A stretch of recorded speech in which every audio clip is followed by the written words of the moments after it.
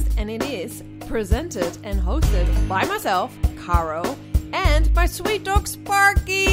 Give it up for him. I hope you're ready. Enjoy. We're back for another episode of Go for Your Life. And I'm super excited because I have Vanessa here. Um, we're from from New Jersey. I'm saying it right, right? New York, Yes. New Jersey, New Jersey. Yep. Yep. Connection from Amsterdam to New Jersey today with Vanessa Van Van Noy. Yes, which is actually a Dutch name. I just wanted to say that was my first question. Like, I think it is because the first time I saw you like uh, like appearing on Instagram, I was like, that's probably a Dutch name. yes, I am not Dutch though. I'm actually Spanish. Oh wow! Because Yeah. what? So tell us a little bit about uh, Vanessa Van Noy. So you um you what, what, where are you from? Where are you now? Um, I'm from Jersey, right outside Manhattan. Mhm. Um, I was born right outside New York City, um, and I've lived in that area most of my life, if not all of my life. Hmm. Um, but right now, I live on the beach in New Jersey, um, close enough to the city that I could see it from my bedroom. Yeah, and, So- and, and you see the ocean. Uh, you, I just you just showed showed us uh, your ocean view. That's so epic. That is amazing. What a beautiful. So you get the city and you get the ocean. I do. It's perfect. Yeah. Amazing, amazing. And so I so I know. I mean, I've I've been your uh, Instagram Instagram stalker for a while.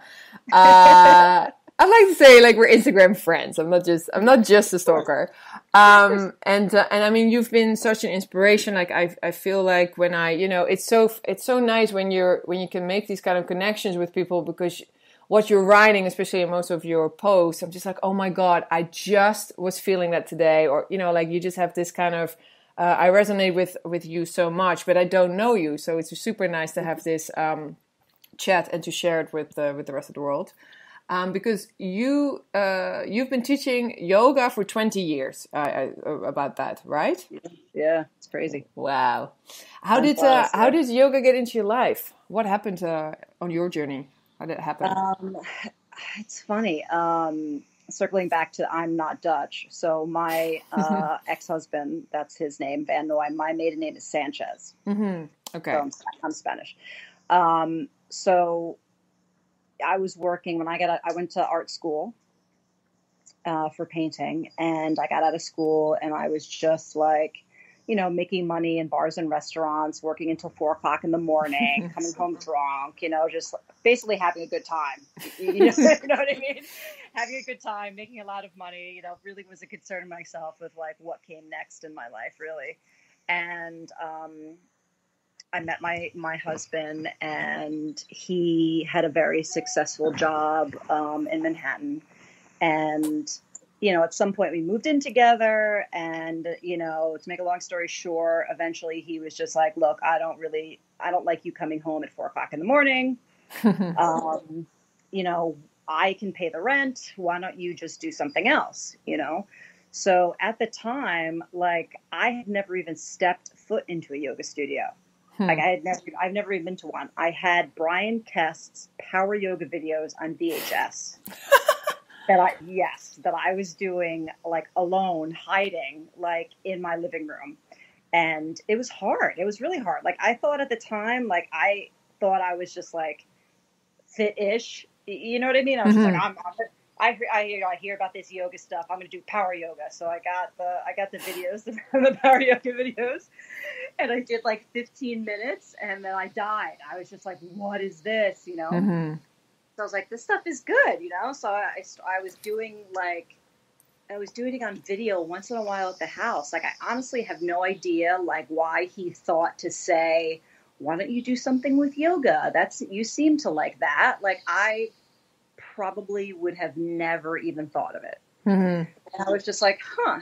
I was just like, yeah, maybe. So, like I said, we were living, where were we living? We were living in Edgewater, which is basically on the Hudson facing Manhattan. So I was like, let me, you know, let me see if there's teacher trainings in New York City. At the time, 20 years ago, I found three. There was there was three, te- and you know, like how many there are now, you know Yeah. and Jivamukti wasn't even one of them. And I'm sure that they were around at the time, but they Mhm. they, they didn't pop up for me. So, um, otherwise, I probably would have went in that direction. But um, I went to three studios. It was like YogaWorks.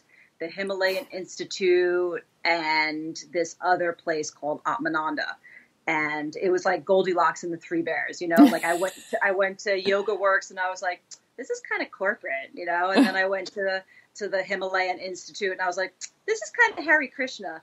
And then I went to, like, and then I went to, you know, the, I went to Atmananda, which is this beautiful big loft space in Soho. Like it, it looked like uh, Anthropologie threw up a yoga studio.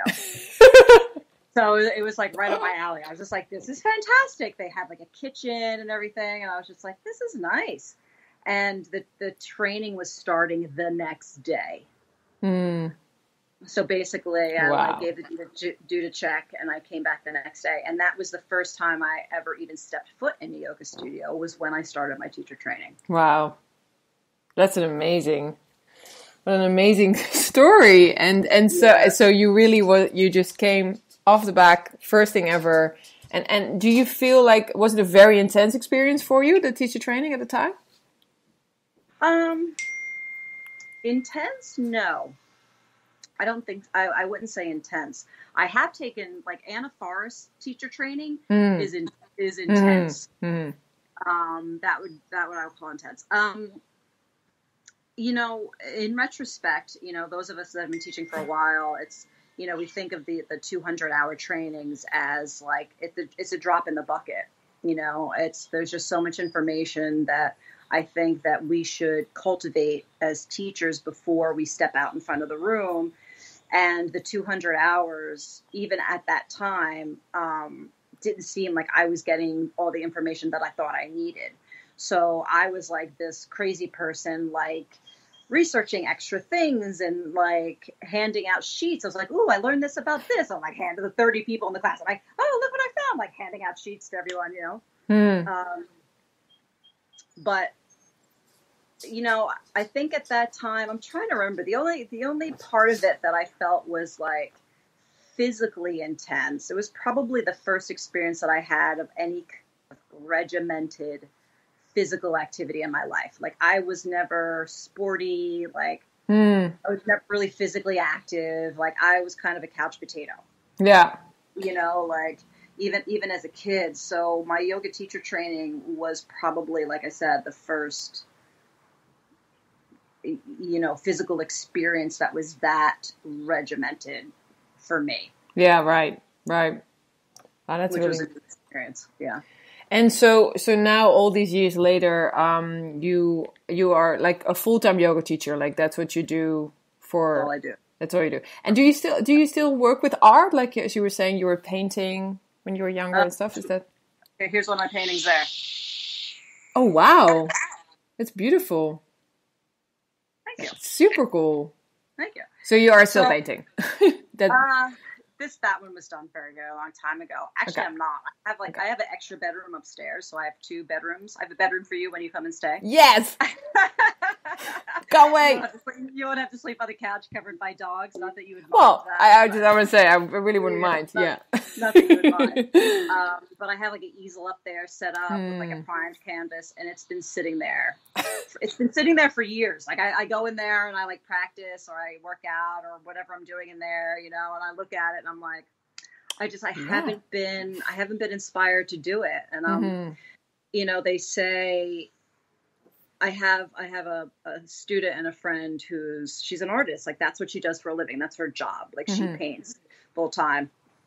And i'm always asking her and i'm just she's like when are you going to start painting? And vanessa she's just like what are you doing you know and she's just like you just have to do it every day. You have to schedule it in. This is like a meditation practice. Like you need to schedule it in and be like between two and three every day. I'm going to go upstairs. I'm going to paint something. Mhm. and unfortunately it hasn't happened yet. No but i think that's also that's also a very different way of looking at it as well. I mean i'm not an artist myself but i definitely know a lot of artists who also i feel like they just kind of get like at three o'clock at night they're like oh i'm gonna paint now because they have this you know they have this moment of like inspiration. And but it's an interesting way of looking at it of like actually really looking at it as a yoga practice as well just doing it daily or you know getting out there and like doing something to actually it's really interesting. It's very different. But but yeah i i i, I feel i feel you with uh like yeah i'm gonna do this. And then it's just yeah. It's there though. Yeah. it's there. It's there. When you're when you're ready it's there for Yeah, you, it's, it's for you. not it's not when I'm 90 years old that it's something that I'll have to worry not being able to do. Mhm, You know, mhm. so it's kind of like one of those things. And I, Yeah. and I feel I feel in the in the past couple of years, my creativity avenue has been writing. Yeah, So, right. Yeah. You know, I feel like I feel like I'm I'm at least feeding that creative bug somehow, even if it's not painting per se.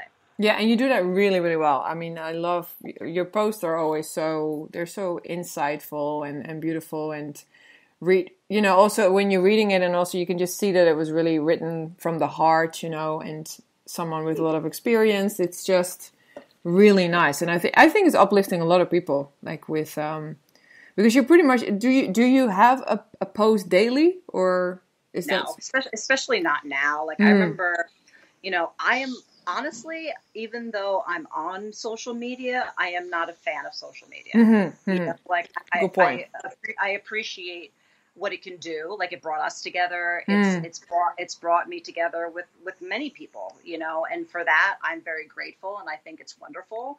But I think on the other end of it, it's causing a lot of problems emotionally with people. Absolutely. You know, like like especially like teenagers, like dealing with with you know self esteem and like all this stuff, and you know these thirteen year old girls, you know they don't want to be doctors anymore; they want to be vloggers. Mhm.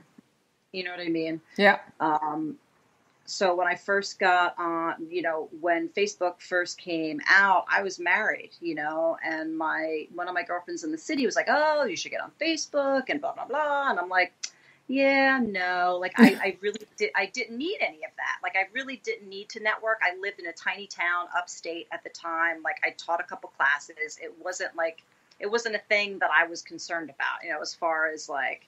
You know, getting my name out there, getting Mhm. my voice out there. It wasn't on the list for Vanessa to do at that point. Mhm.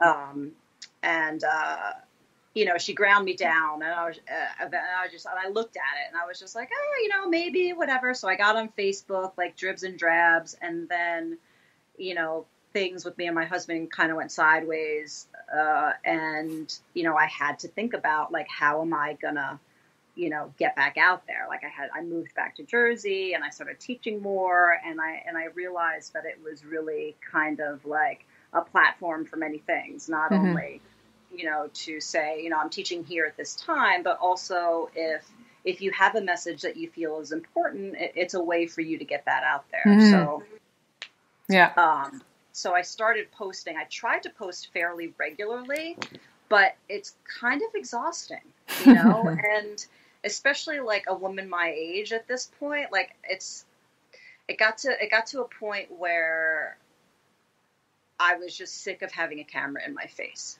You Yeah. know, I'm just like I don't want to have to look cute every day if I don't want to. Like, you know, like you, like I don't get up and put makeup on. Like, Yeah. I, uh, the only time I wear makeup is if I'm like going to a wedding or something, or out to dinner or something like nice. Like, Yeah. I basically roll out of roll out my pajamas and go teach yoga and come home and walk my dogs. Like, Mhm. you know, the extent of me changing my outfit is changing my shoes to go hike. Yeah. Y- You know what I mean? Like Yeah. that's pretty much it. And it- it just got to be a lot for me. And I, and I found myself becoming more judgmental of myself and others the more I Mhm. looked the more I looked at it. So Yeah.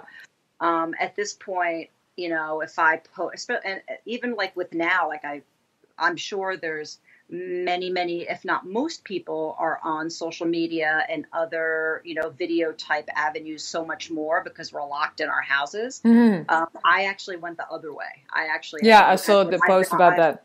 It's good. Yeah, Yeah. I've been on. I've been on it less. You Yeah. know, like if I post, I, I try to make sure I post at least like once a week. Yeah. Um, if I feel the urge about something, you know, I'll do that in the moment. But No, and I really, I really, you you have a really important point there. I, I totally agree with you because sometimes you're also just like, you know, you can see that you know it is also having a, a negative effect on people, of course, you know. And it's, I, I think what you do, and I try to do it as well, is like use it as you know as a platform for positive change as well, you know, like because you are uh, influencing other people, you are inspiring other people, and and and to use your voice right.